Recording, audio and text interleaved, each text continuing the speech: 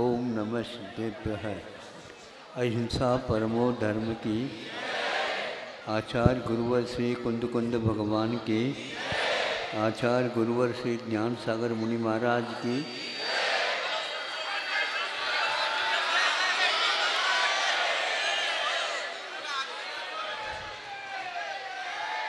आप लोगों को सोचना चाहिए अब।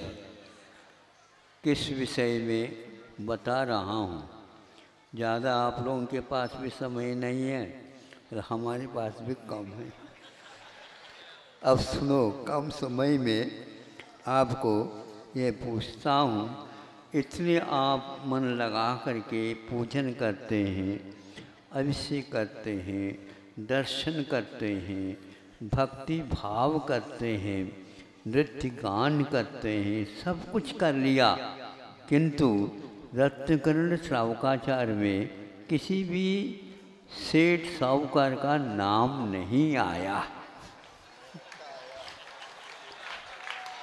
और सुनो सुनो, इतना ही नहीं, बदले में एक आपके स्थान पर मेंढक का नाम आया है। अब आपको सोचना है, हमें तो कुछ नहीं सोचना, हम तो पार हो गए। लेकिन आप लोगों की क्या स्थिति है? मतलब ये हुआ कि वह एक प्रकार से आप लोगों से कई गुना आगे है। नहीं समझे आप लोगों को ताली बजाओ कहने से तो बजाते हैं, लेकिन वह किस ढंग से ताली बजाया होगा? किस ढंग से क्या सामग्री लेकर के चले गए होंगे? कौन से उनके भाव होंगे?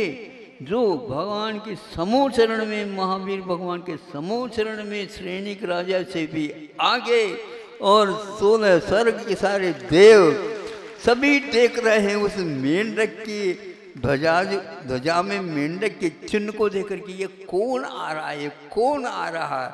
सैनिक को प्रश्न करना पड़ा। इसमें से कोई मुकुटधारी सेठ साहूकार नहीं आए।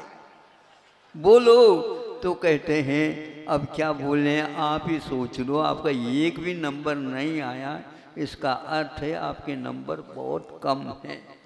भगवान से प्रार्थना करो, हे भगवान, हम कम से कम मेंढक के सामने तो कम से कम जा कर के बैठने की हिम्मत तो कर दे।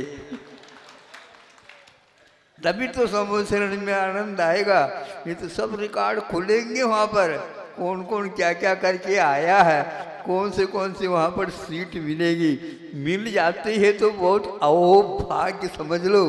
अभी से टिकट लेना प्रारंभ कर दो। अहिंसा परमो धर्म